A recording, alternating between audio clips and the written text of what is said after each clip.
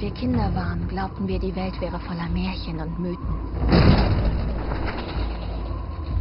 Dass unser Schicksal vorherbestimmt ist. Hallo?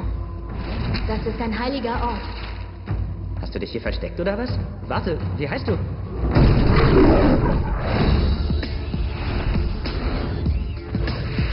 Ich grüße dich, Königin der Nacht. Meine Cousine Vivian auf ihre strahlende Zukunft.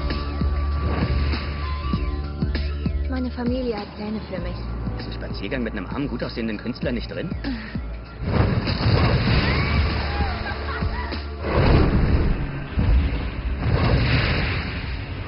Alle sieben Jahre sucht sich der Anführer des Rudels eine neue Frau. Wohl eher ein Weibchen. Von hier aus hast du den schönsten Blick über die ganze Stadt. Ich habe gehört, dass es Orte gibt, an denen Wölfe verehrt werden. Du meinst Werwölfe. Du steckst voller Geheimnisse. Nicht. Wir versammeln uns als ein Volk, denn wir sind ein Volk. Und wir jagen als ein Volk.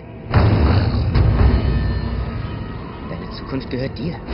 Halt dich von ihr fern. Wieso bin ich eine Bedrohung? Du bist keine Bedrohung. Das ist eine Bedrohung. Du reißt mit dem nächsten Zug ab. Siehst du, was du getan hast? Wieso weißt du so viel über Werwölfe? Ich wollte dich beschützen. Vor dir? Was erwartest du von mir? Die Wahrheit?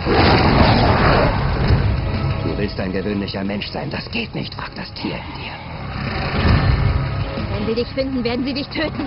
Wie kommen wir aus der Stadt raus?